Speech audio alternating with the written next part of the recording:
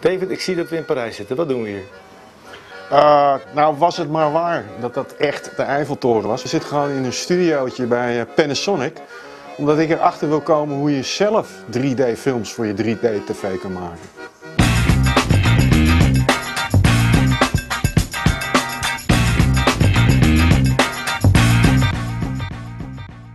Deze Panasonic camcorder, de SDT750, is een echte 2D camcorder. Ik ga dat uh, opzetstukje er even afhalen.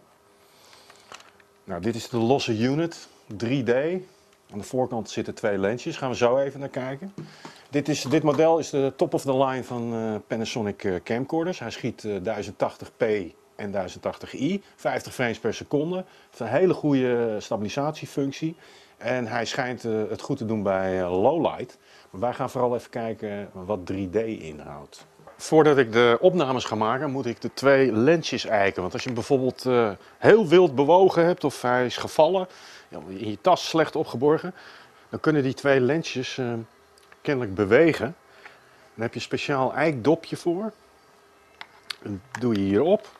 Dan open je dit klepje.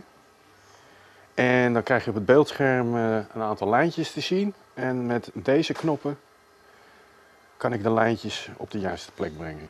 Kijk, ik wil nu gewoon even... Wow, dat wordt leuk op tv. Die komt er zo op me af straks. Natuurlijk ben ik ook Bruce Lee. Wow.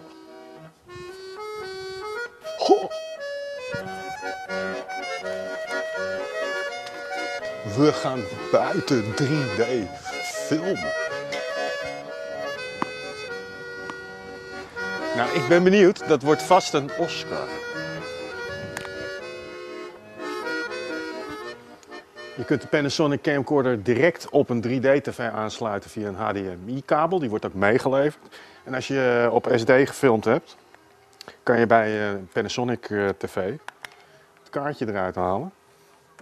En die stop je gewoon in de tv. Nou, voor jullie de kijkers, jullie kunnen niks zien, want je hebt natuurlijk gewoon 3D uh, eh, beeld wat naast elkaar ligt. Maar ik ga even kijken of het effect goed is. Nou, uh, die bal die, uh, die komt echt op je af. Je ziet natuurlijk dat de beeldkwaliteit iets minder is omdat er zo weinig licht is. En daar is een reden voor. Stel dat dit de hele sensor is. In de 3D voorzetstuk zitten twee lensjes. En die worden, het beeld daarvan wordt naast elkaar gelegd. Dus eigenlijk wordt de beeldkwaliteit gehalveerd. Dus je krijgt nooit 1080 3D filmpjes. Uh, wil je zo'n filmpje monteren, dan kan dat. Er wordt software bijgeleverd. Maar dat is eigenlijk alleen maar om te knippen en te plakken en iets wat in te korten. Maar het editpakket Magic ondersteunt sinds kort ook 3D. En dan kan je veel meer. Dan kan je de titels inzetten, die waarschijnlijk ook allemaal 3D zijn. Dus dit is het begin van uh, het zelf maken van 3D-films. Nou, het wordt volgens mij toch geen Oscar. Ja, helemaal 3D. Dat wordt wel een Oscar. Dat kunnen jullie, nou, ik kan dat niet uitleggen op het scherm. Maar hier zie ik heel duidelijk die plant naar voren uh, komen.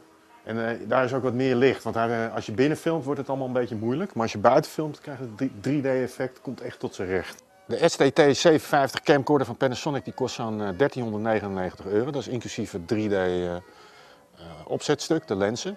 maar je kan hem uitstekend gebruiken als 2D camcorder. En dit is nu voor het eerst dat je zelf content kan maken. En dat is verdraaid handig, want iedereen is 3D-tv's aan het kopen. Maar er is nog bar weinig 3D-content. Nou, nu kan je in ieder geval uh, de kinderen in 3D filmen als ze bijvoorbeeld over hun nek gaan of wat dan ook. Maar je kan in ieder geval zelf content maken. En ik denk dat er nog meer camera's gaan volgen binnenkort. Helaas is de Bright uitpakparty nog niet in 3D te zien. Ik zou zeggen tot volgende week.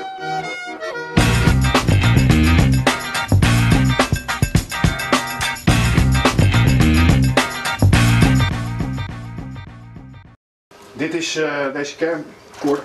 Wow.